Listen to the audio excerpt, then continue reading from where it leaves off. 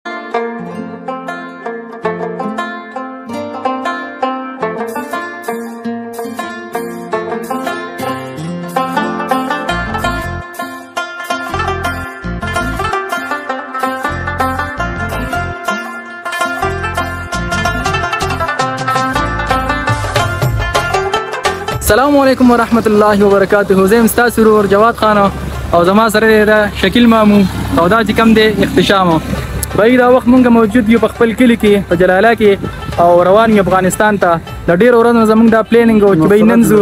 چې ننزو سبازو خو بس نن خو دې وکړه دا او روان یو افغانستان ته او شکیل ماما ورا سره شکیل ماما څنګه سبب ویل غواړي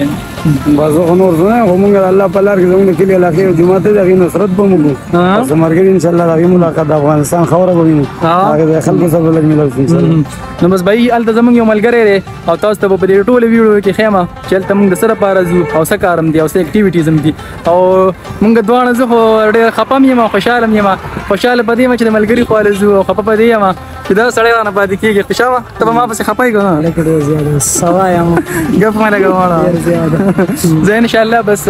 مړه چې ژوند دي وي او به میلاو شي انشاءالله دونه وخت مونږ هسې هم نه تېراو نو به یې مونږ سره اوسئ او د افغانستان کلچر او د هغه ځای چې کوم ثقافت دی دا به تاسو ته زه ښیم له ما سره اوسئ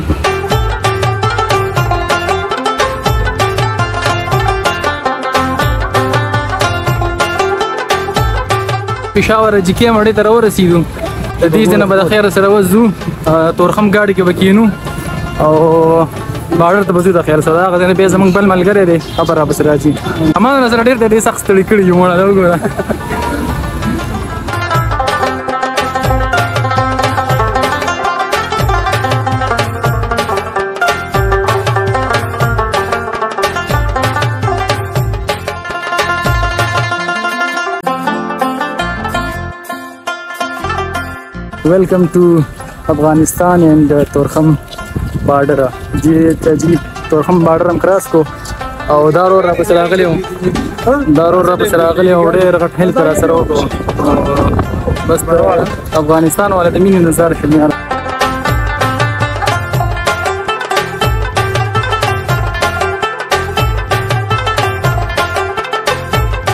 دا وخت مونږ موجود یو په محاوراتو چوک کې